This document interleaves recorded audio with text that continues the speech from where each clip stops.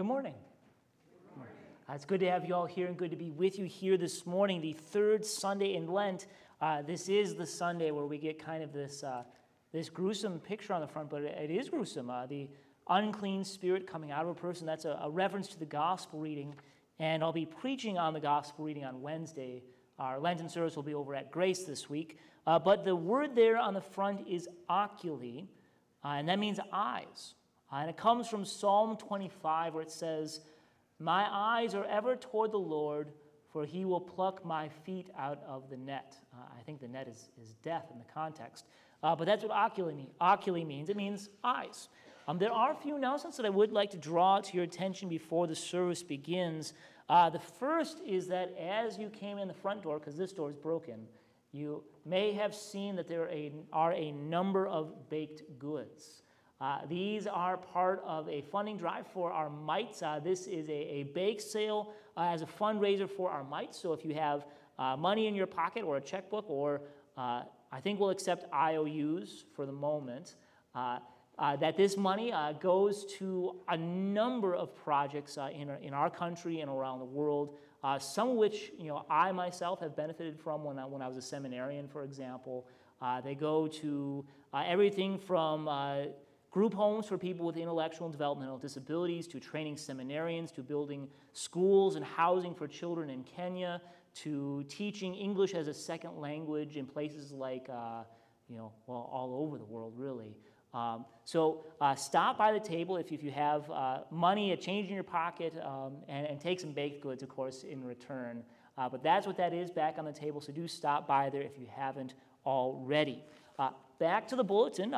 In May, there is going to be an LWML mission bus uh, that looks like it's going to make a number of stops. Uh, it'll be Friday and Saturday, May 13th and, and, and 14th. Uh, it's going to be featuring a presentation from uh, missionary Adam Lehman, uh, who is in Puerto Rico now, but I think had been in Spain before, so should have a very interesting uh, presentation. CLS is sponsoring a scrap metal drive again. That'll be coming up in April on Saturday, April 2nd. Um, that same day in the afternoon will be the installation for the new pastor at Westgate. Um, his name is Kent Peck. He's coming to us from Kansas.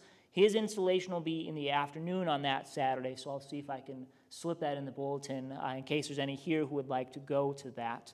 Uh, looking ahead at the schedule for this week, I will be a little scarce uh, Monday, Tuesday, Wednesday. Uh, Community Lutheran School is being reaccredited and I have some responsibilities uh, with that this week. Uh, so Monday, Tuesday, and Wednesday, I, I, mostly won't be around. I'll be over either at Klinger uh, or in Readlyn. So if you're looking for me, uh, just use my cell phone. Um, that shouldn't be a problem. Uh, it will be Monday, Tuesday, Wednesday, but it won't affect our, our worship on Wednesday or Members of Grace uh, Bible study on Thursday.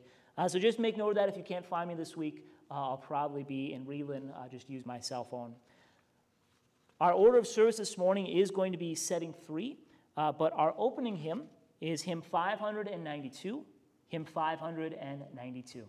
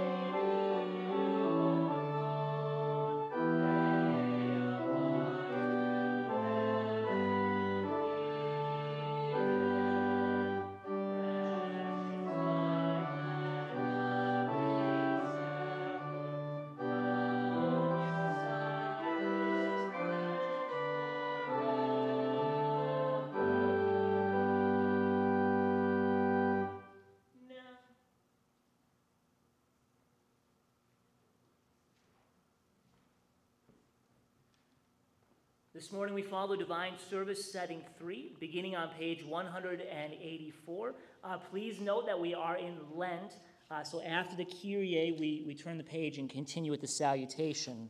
Uh, we don't sing the Gloria in Excelsis in Lent. I invite you to stand.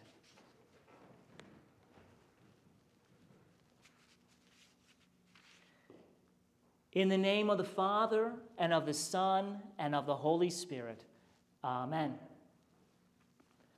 Beloved in the Lord, let us draw near with a true heart and confess our sins unto God our Father, beseeching Him in the name of our Lord Jesus Christ to grant us forgiveness. Our help is in the name of the Lord, who made heaven and earth. I said, I will confess my transgressions unto the Lord, and you forgave the iniquity of my sin.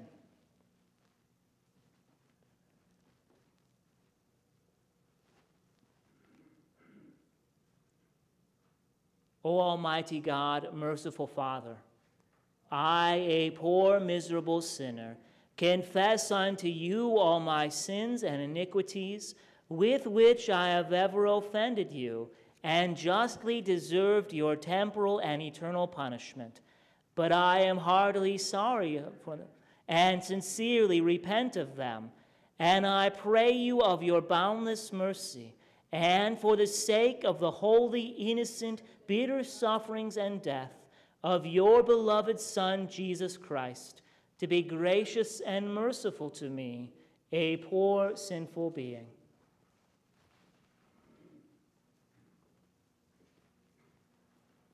Upon this, your confession, I, by virtue of my office as a called and ordained servant of the word, announce the grace of God unto all of you. And in the stead and by the command of my Lord Jesus Christ, I forgive you all your sins. In the name of the Father, and of the Son, and of the Holy Spirit. Amen. Psalm 136. Give thanks to, God, to the God of heaven, for his steadfast love endures forever. Give thanks to the Lord, for he is good for his steadfast love endures forever. Give thanks to the God of gods, for his steadfast love endures forever. Give thanks to the Lord of lords, for his steadfast love endures forever. To him who alone does great wonders, for his steadfast love endures forever. To him who by understanding made the heavens, for his steadfast love endures forever. To him who spread out the earth above the waters, for his steadfast love endures forever. To him who made the great lights, for his steadfast love endures forever. The sun to rule over the day, for his steadfast love endures forever. The moon and stars to rule over the night, for his steadfast love endures forever. To him who struck down the firstborn of Egypt, for his steadfast love endures forever, and brought Israel out from among them, for his steadfast love endures forever. With a strong hand and an outstretched arm, for his steadfast love endures forever.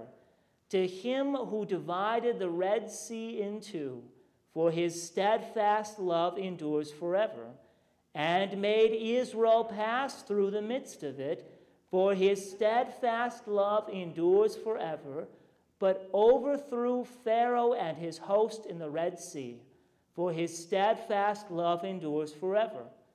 To him who led his people through the wilderness, for his steadfast love endures forever. Glory be to the Father and to the Son, and to the Holy Spirit, as it was in the beginning, is now, and will be forever. Amen. Give thanks to the God of heaven, for his steadfast love endures forever.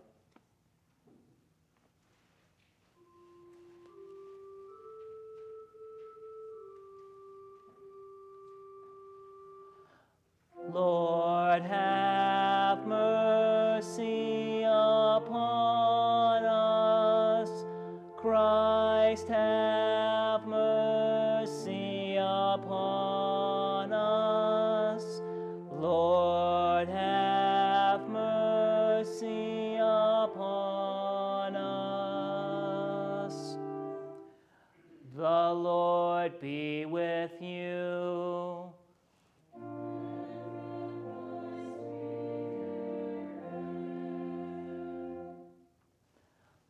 Let us pray. O God, whose glory it is always to have mercy, be gracious to all who have gone astray from your ways, and bring them again with penitent hearts and steadfast faith to embrace and hold fast the unchangeable truth of your word. Through Jesus Christ, your Son, our Lord, who lives and reigns with you and the Holy Spirit, one God, now and forever. Amen. You may be seated.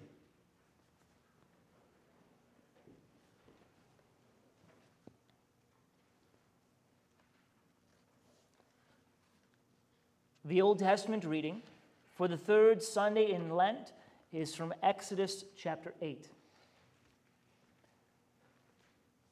Then the Lord said to Moses, Say to Aaron, Stretch out your staff and strike the dust of the earth, so that it may become gnats in all the land of Egypt. And they did so. Aaron stretched out his hand with his staff and struck the dust of the earth, and there were gnats on man and beast. All the dust of the earth became gnats in all the land of Egypt. The magicians tried by their secret arts to produce gnats but they could not. So there were gnats on man and beast. Then the magicians said to Pharaoh, This is the finger of God. But Pharaoh's heart was hardened, and he would not listen to them, as the Lord had said. Then the Lord said to Moses, Arise up early in the morning and present yourself to Pharaoh as he goes out to the water and say to him, Thus says the Lord, Let my people go, that they may serve me. Or else, if you will not let my people go, behold, I will send swarms of flies on you and your servants and your people and into your houses. And the houses of the Egyptians shall be filled with swarms of flies, and also the ground on which they stand. But on that day, I will set apart the land of Goshen, where my people dwell, so that no swarms of flies shall be there, that you may know that I am the Lord in the midst of the earth. Thus I will put a division between my people and your people. Tomorrow this sign shall happen. And the Lord did so there came great swarms of flies into the house of Pharaoh and into his servants' houses. Throughout all the land of Egypt, the land was ruined by the swarms of flies. This is the word of the Lord. Thanks be to God. The epistle is from Ephesians chapter 5. Therefore, be imitators of God as beloved children, and walk in love, as Christ loved us and gave himself up for us, a fragrant offering and sacrifice to God. But sexual immorality and all impurity or covetousness must not even be named among you, as is proper among saints. Let there be no filthiness, nor foolish talk, nor crude joking, which are out of place but instead let there be thanksgiving. For you may be sure of this that everyone who is sexually immoral or impure or who is covetous, that is, an idolater, has no inheritance in the kingdom of Christ and God. Let no one deceive you with empty words, for because of these things the wrath of God comes upon the sons of disobedience. Therefore, do not associate with them. For at one time you were darkness, but now you are light in the Lord. walk as children of light. For the fruit of light is found in all that is good and right and true. This is the word of the Lord. Thanks be to God. I invite you to stand as we speak the tract. To you I lift up my eyes, O you who are enthroned in the heavens. Behold, as the eyes of servants look to the hand of their master, so our eyes look to the Lord our God till he has mercy upon us. Have mercy upon us, O Lord, have mercy upon us.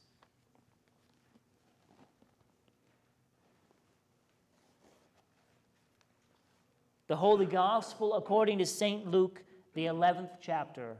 Glory to be to thee, O Lord. Now Jesus was casting out a demon that was mute.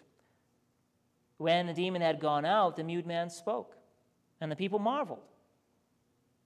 But some of them said, He casts out demons by Beelzebul, the prince of demons.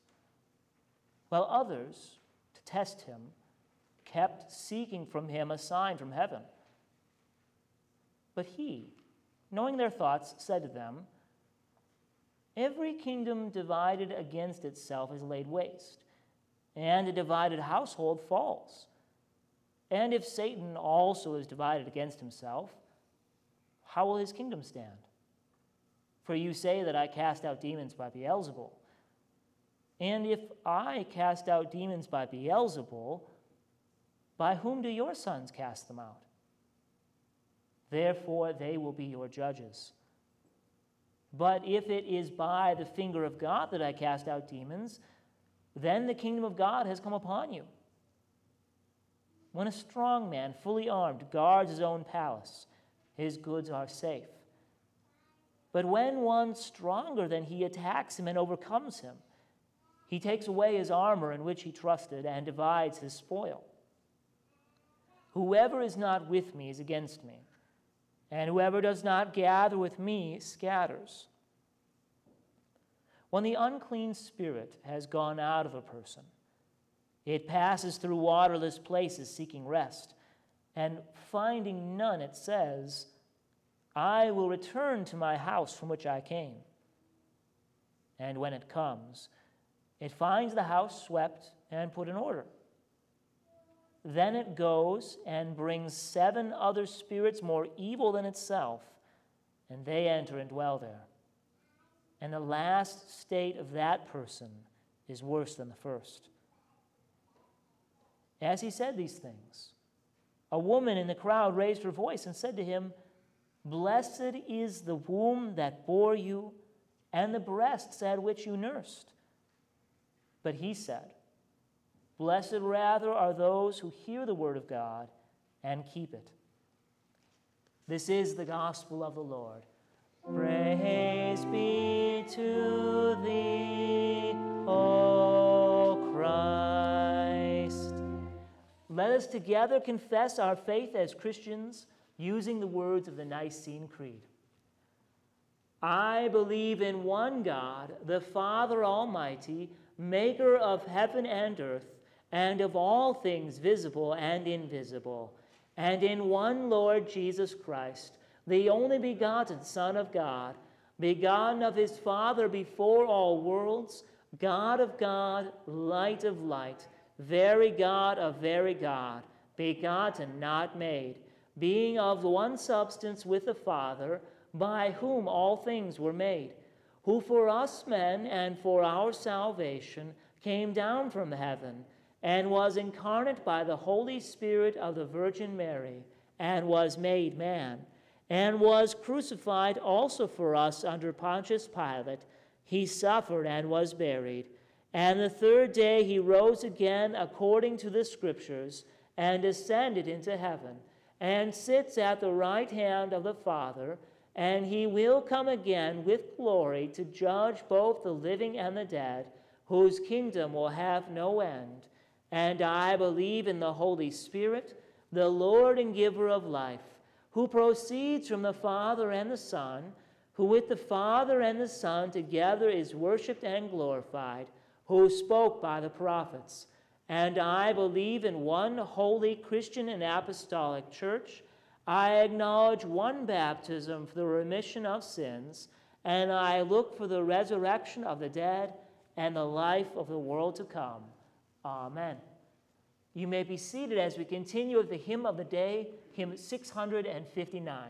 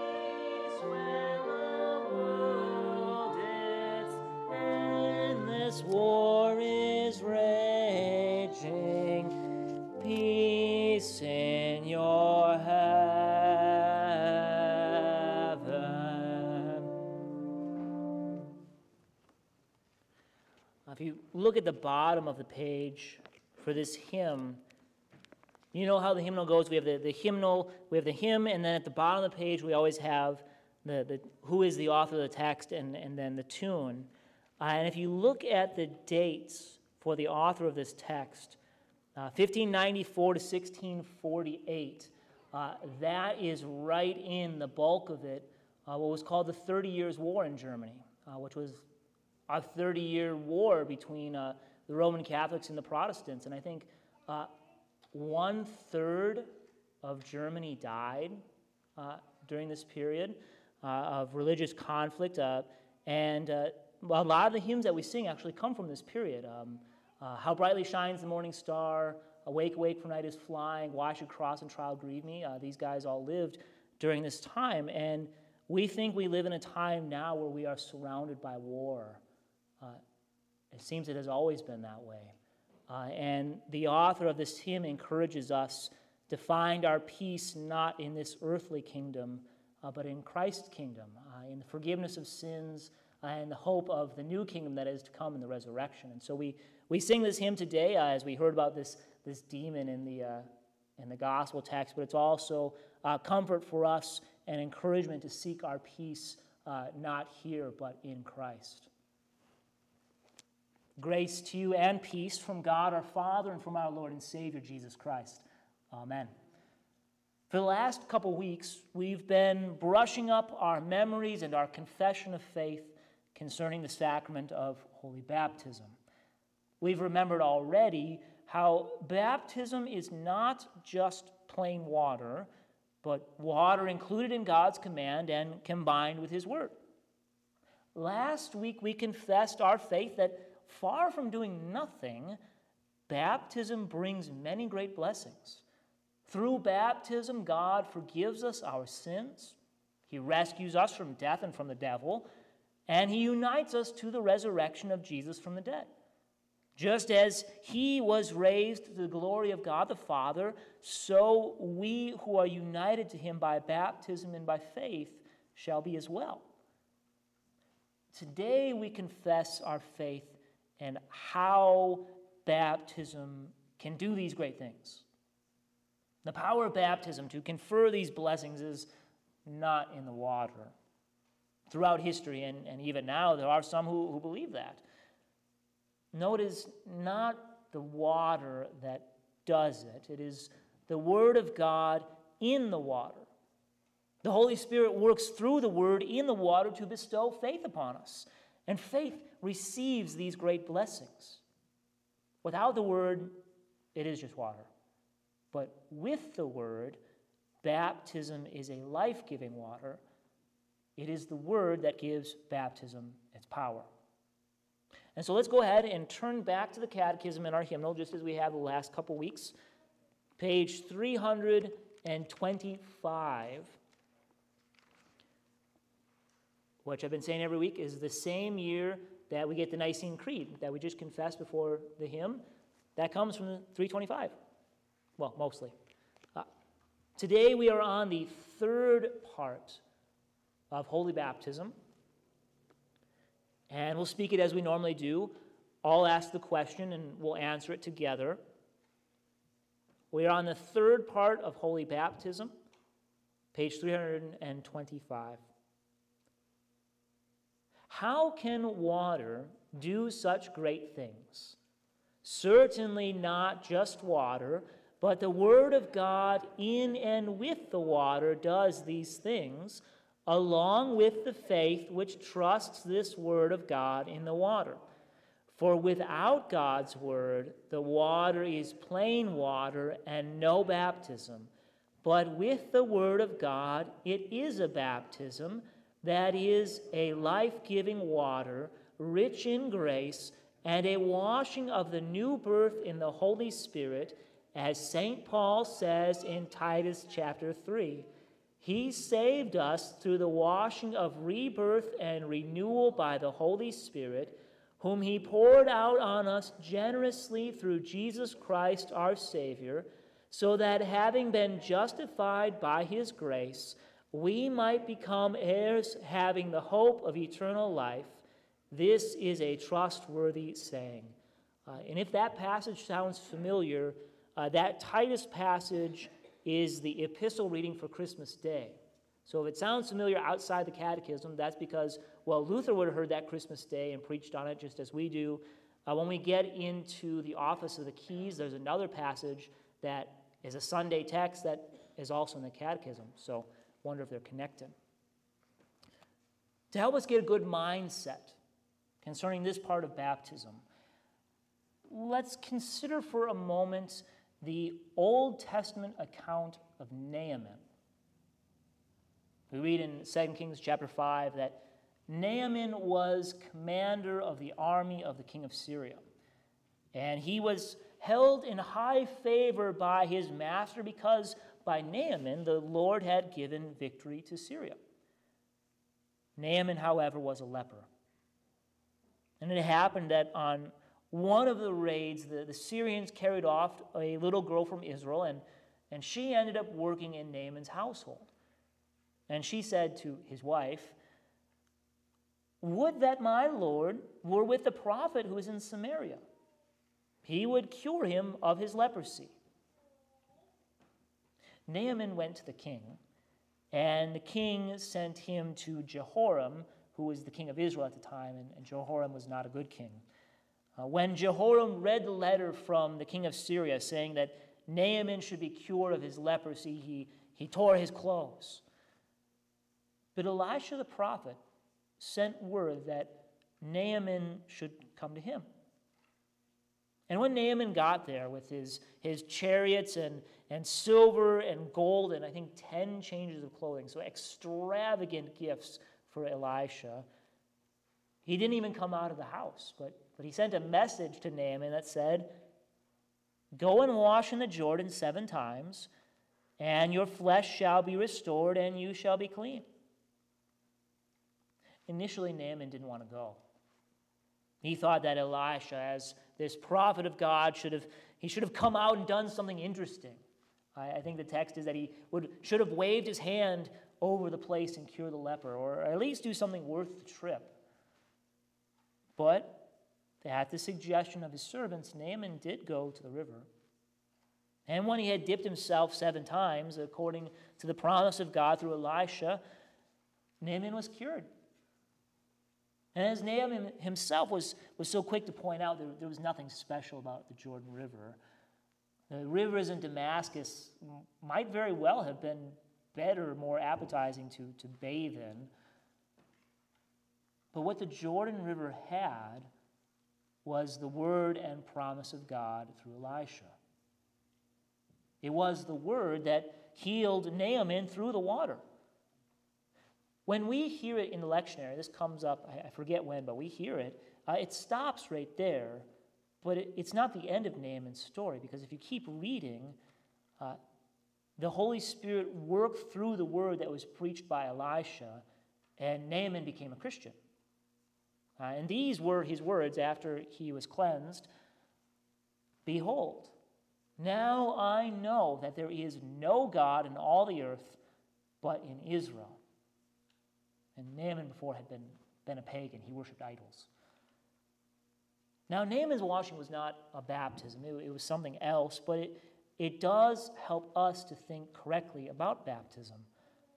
Because the same thing that cured Naaman of his leprosy and that called him to faith is also what gives baptism its power. It's the Word of God. The Word of God is the instrument of the Holy Spirit to give the forgiveness of sins, to rescue from death and the devil, and to grant eternal salvation in and with the waters of holy baptism. Through the same washing of water and the Word, the Holy Spirit also creates faith in our hearts, which receives these blessings. Faith does not make baptism baptism, just as faith is not what makes the Lord's Supper Christ's body and blood, but faith receives these blessings. And by word of God in baptism, we mean what we said a few weeks ago. Specifically, I baptize you in the name of the Father, and of the Son, and of the Holy Spirit. These are the words that Jesus gave us to use in baptism, and, and we should not seek some other formulation of what to say. In the administration of baptism, when, when it's actually happening, it, it doesn't have to be those exact words because otherwise we'd all have to learn Greek in order to baptize. And, I guess I would be okay, but you guys would have to brush up a little bit. You know, however, the words spoken should be in keeping with the sense and with the intention of Christ's institution.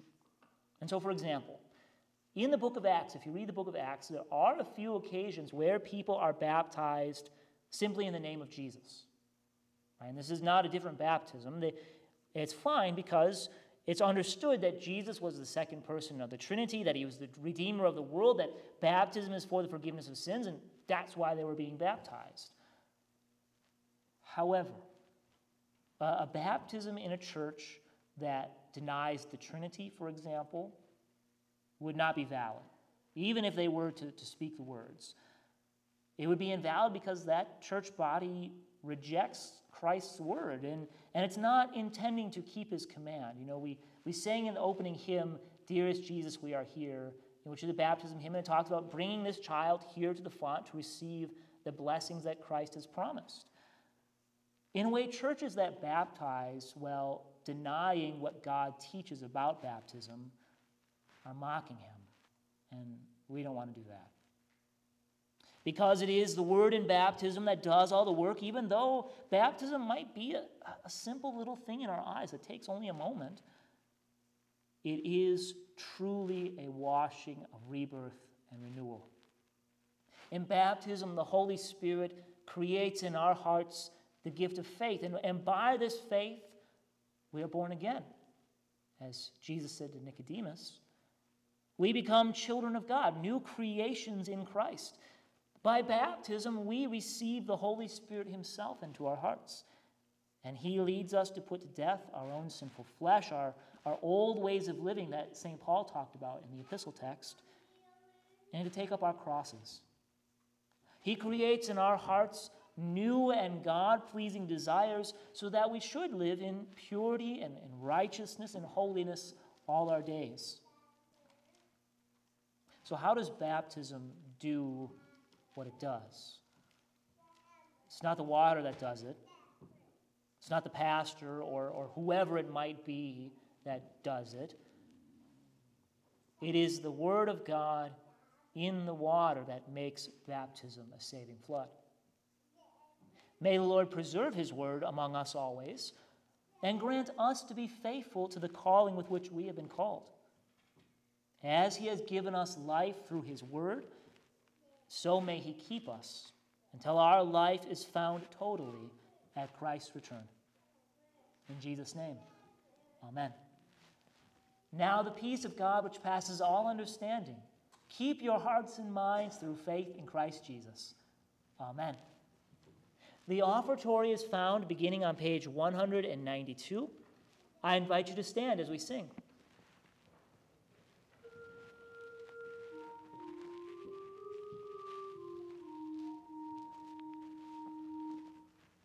Create in me a clean heart, O God, and renew a right spirit.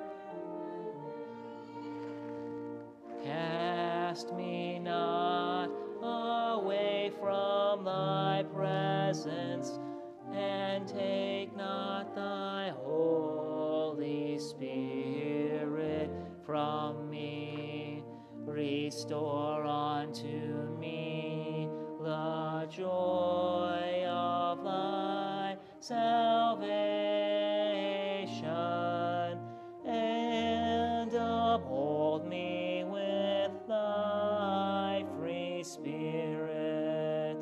Amen.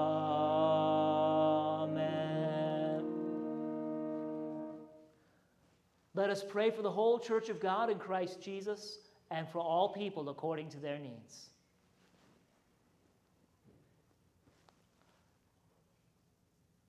Merciful God, you do not change and are always ready to hear our prayer. May our eyes be ever fixed on you, that we would always be ready to receive your forgiveness and help in time of need. Lord, in your mercy, hear our prayer. Almighty Father, we thank you that Christ has disarmed the devil and liberated us by his blood, bringing us into his ranks together with all the saints. Preserve all Christians in the faith until life's end. Do not permit anyone to abandon or blaspheme your Spirit's work and the forgiveness of sins. Turn us in brotherly love toward one another to live always according to your holy will. Lord, in your mercy, hear our prayer. Lord God, you call us to live in purity and holiness. Protect and guide Christian families to love and seek chastity and decency, learning to grow in virtue and all godly living. Lord, in your mercy, hear our prayer. Almighty God. No kingdom divided against itself can stand, and a house divided must fall. Graciously preserve our nation with its government, frustrate the work of Satan and the seeds of destruction he would sow in every place where he not stayed by your gracious hand. Unite our leaders and our people for a common good, while leading us to hope in that eternal kingdom which is not of this world. Lord, in your mercy, hear our prayer. O Lord, the strength of the weak, hear our prayers for all who are sick, anxious, lonely, or oppressed in any way, especially the shut ins of our congregation and those whom we name in our hearts.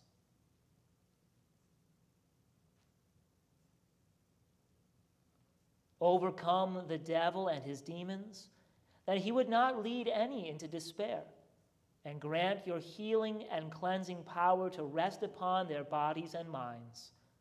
Lord, in your mercy, hear our prayer. Blessed Lord, you join your word to the bread and wine, and so invite us to eat and drink. Grant that we may hear and keep your word in faith, that we may worthily receive the true body and blood of our Savior, and so be given your eternal blessing. Lord, in your mercy, hear our prayer. Blessed Lord, the mother of your Son was blessed because she heard your word and kept it. Grant that we who hear your word would also treasure it in our hearts and so receive your eternal blessing. Through Jesus Christ, your Son, our Lord, who lives and reigns with you in the Holy Spirit, one God, now and forever. Amen.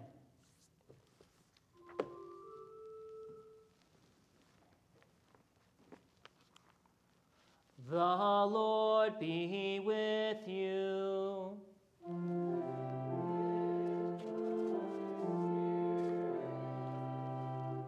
Lift up your hearts.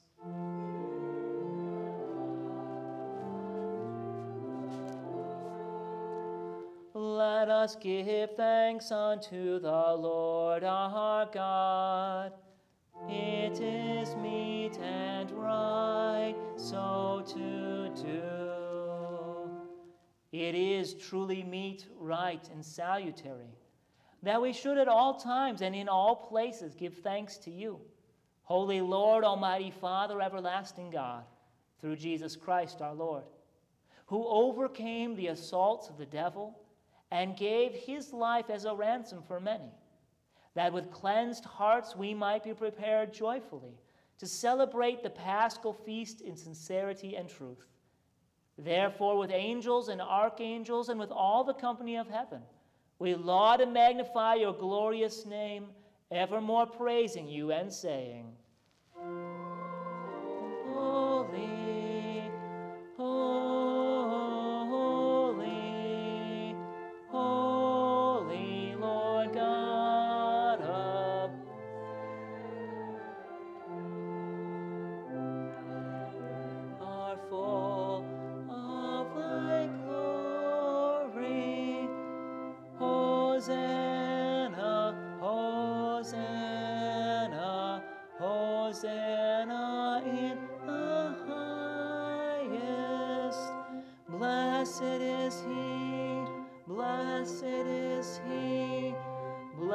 it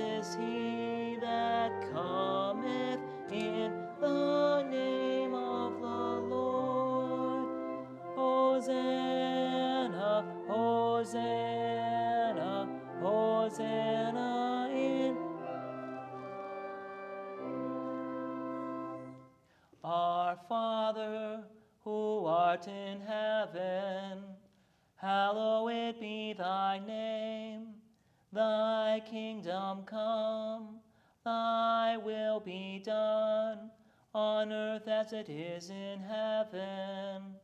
Give us this day our daily bread, and forgive us our trespasses, as we forgive those who trespass against us. And lead us not into temptation, but deliver us from evil. For thine is the kingdom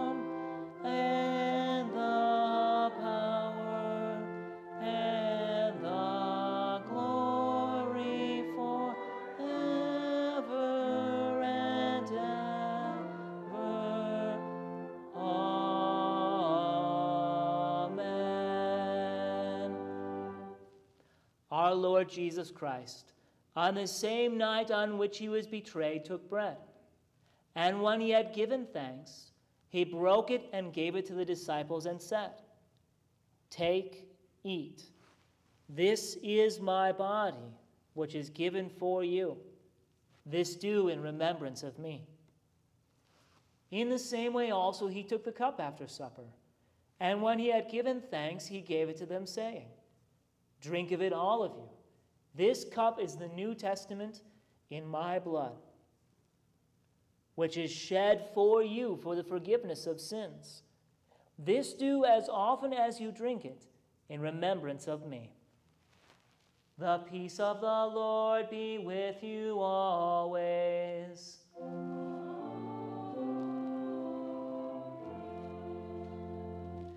O, o Christ, thou Lamb of God, that takest away the sin of the world, have mercy upon us.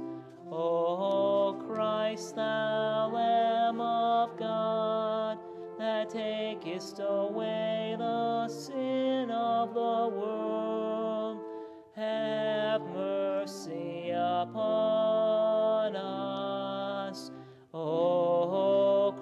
Christ, thou Lamb of God, that takest away the sin of the world, grant us thy peace. Amen.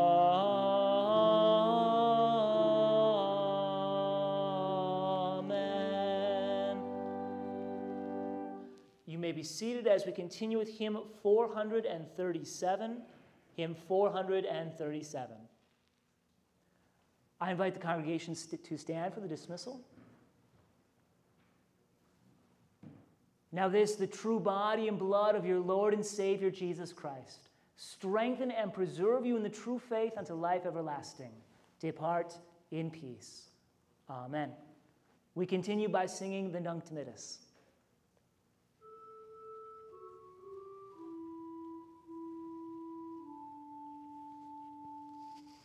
Lord, now lettest thou thy servant depart in peace according to thy word. For mine eyes have seen thy salvation, which thou hast prepared before the face of all people a light to lighten the Gentiles and the glory of thy people Israel. Glory be to the Father and to the Son and to the Holy Ghost, as it was in the beginning, is now, and ever shall be, world without end. Amen. Oh, give thanks unto the Lord, for he is good and his mercy endureth forever. Let us pray. We give thanks to you, Almighty God, that you have refreshed us through this salutary gift. And we implore you that of your mercy you would strengthen us through the same in faith toward you and in fervent love toward one another through Jesus Christ, your Son, our Lord, who lives and reigns with you and the Holy Spirit, one God, now and forever. Amen.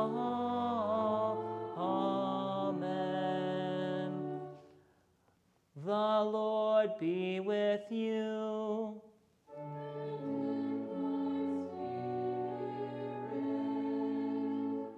Bless we the Lord. Thanks be to God.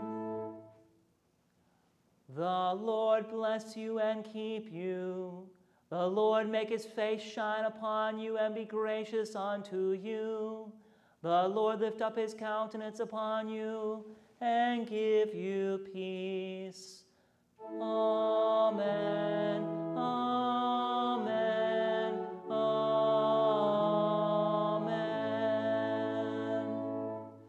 May be seated as we continue with our closing hymn, hymn 523.